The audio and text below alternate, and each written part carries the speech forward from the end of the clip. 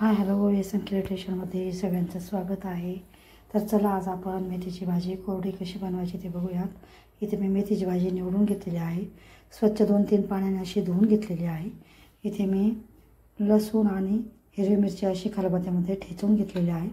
इथे गॅसवर आपण कढई ठेवून त्याच्यामध्ये मी आता दोन चमचे तेल टाकून घेणार आहे. तर आता आपण इथे पॅनमध्ये तेल टाकून घेतलेलं आहे. आता याच्यात आपण तेल टाकून झालं की आपण एक चमचा जिरं टाकून घ्यायचे.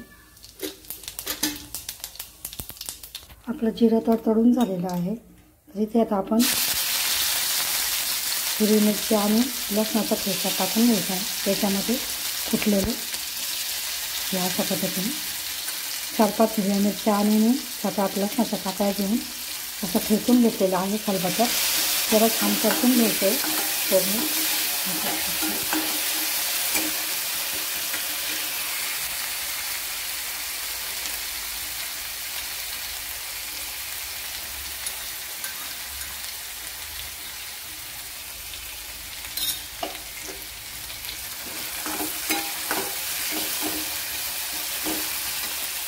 तर आता इथे बघू शकता. आपली मिरची छान मिरची आणि लसूण छान परतून झालेलं आहे. आता याच्यात आपण मेथीची भाजी अशी कापून घ्यायची किंवा हाताने चिरून पण टाकू शकतो आपण. अशी अशी टाकून घ्यायची. पूर्ण मिक्स करून घ्यायची भाजीला टाकल्यानंतर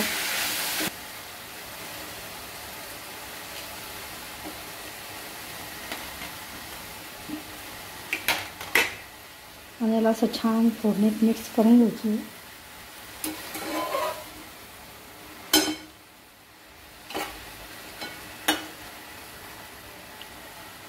तर इथे आपण सगळी भाजी टाकून घेतलेली आहे. आता या भाजीला छान अशी थोडंसं मी पाणी टाकून घेतलेलं आहे. याला पण आता या पाण्यामध्ये थोडीशी शिजवून घ्यायची हे अशा पद्धतीने. याच्यामध्ये तुम्हाला शेंगदाण्याचं कूट टाकायचं असं तुम्ही टाकू शकता. इथे मला अशी साधीच बनवायची आहे. मला साधीच आवडते. त्यामुळं मी अशी याला आता ह्या पाण्यामध्ये छान शिजवून घ्यायची. हे अशा पद्धतीची मेथी भाजी खूप छान लागते. अशा मेथीची अशा पद्धतीची मेथीची भाजी तुम्ही भाकरीसोबत पोळीसोबत खाऊ शकता.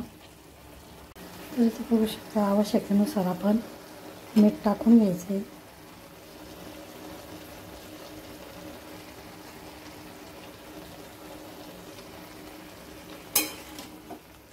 मीठ टाकल्यानंतर असं छान मिक्स करून घ्यायचं. पूर्ण मीठ आपलं भाजीत मिक्स झालं पाहिजे. अशा पद्धतीने.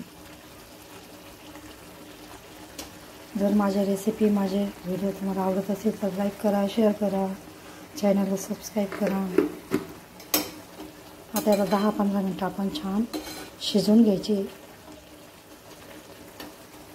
बघू शकता अशी छान आपली कोरडी भाजी तयार झालेली आहे.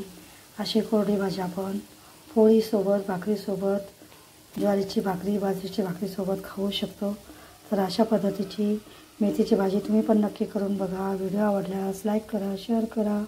चॅनलला सबस्क्राईब करा. व्हिडिओ बघितल्याबद्दल धन्यवाद. मस्त खा आणि स्वस्त राहा. पुन्हा भेटूया अशाच नवीन व्हिडिओसोबत. तोपर्यंत बाय.